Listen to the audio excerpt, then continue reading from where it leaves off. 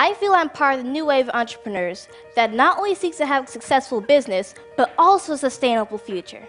Maya is CEO of her own clothing company, which she started when she was just eight years old. She's moved on to environmental activism, computer programming, and motivational speaking. She's given three of the prestigious TED Talks. Now, Maya is an author she can do everything. That's why it's so good to have people like you to talk to us, to write a book, because you can inspire others, and that's really what you're hoping to do. And, and really, it's from what I could see, it's about kind of helping people find out what's going to be their passion and how they can strike out and, and be a trailblazer as you've done. This book will help you on your creative journey as I talk about my creative journey and everything I've learned along the way, and how you can really start um, doing what you love definitely what you put out comes back to you. What you put out in the universe will always bounce back in some way. Just even if you don't believe it yet, the universe is listening. Mm-hmm. And I've learned that so much throughout my journey. I like that the universe is listening. I'm gonna write that down. Uh, Maya Penn has captured the world's attention, and she's not even old enough to vote. This teenage entrepreneur creates her own cartoons she makes headbands and scarves out of recycled materials, and she is also an author. Author, artist, filmmaker, environmentalist, and CEO of her own company at 15 years old. Hello. Please wow. welcome the fabulous Maya Penn. Super Soul introduces the Super Soul 100, a collection of 100 awakened leaders who are using their voices and talent to elevate humanity. Together, they create a cultural shift towards living life more intentionally. Introducing the Super Soul 100. An injustice to one girl is an injustice to all girls.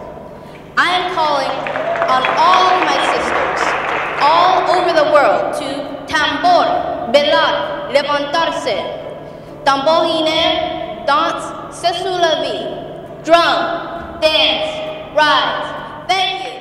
This is an amazing young woman who is becoming a voice for so much. She has such a deep love for the environment. It's really important to me to educate young people about taking care of the environment because since they're the future and the world is going to be in their hands one day, the world definitely needs to be in good hands.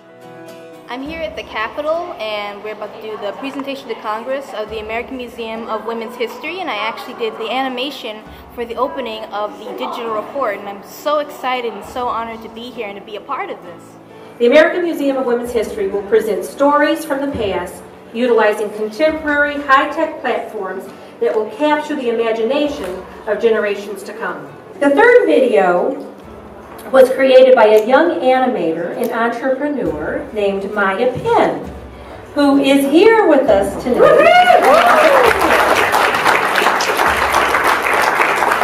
this beautiful, young, talented lady created a brief video to demonstrate the types of stories we may see in this future museum.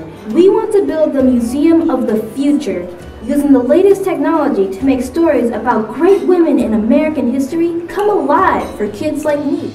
We want to tell everyone about the amazing achievements of Americans like Sybil and the obstacles they overcame. And that's why we need an American Museum of Women's History.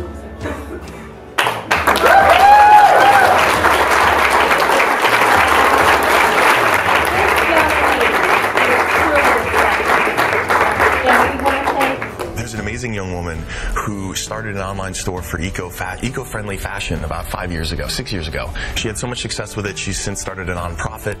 It's definitely something that we take for granted, but there's such a huge need here. She gave a TED talk, that's how I met her. Um, it turns out she's also 14. And this young woman named Maya, like, because she can be awesome, right? She can be awesome at a scale that I never could have imagined in my teens. And, uh, and that, that gives me a lot of hope. We live in a big, diverse, and beautiful world, and that makes me even more passionate to save it. But it's never enough to steer through your heads about the things that are happening in our world. It takes you to gear through your hearts. Because when you gear through your heart, that is when movements are sparked. That is when opportunities and innovation are created. And that is when ideas come to life. So you, you heard Maya talk about the amazing parents who are behind this incredible woman. Where are they? Please, Mr. and Mrs. Penn, would you stop? It's important for all of us to do our part in making the world a better place for girls and children and all people.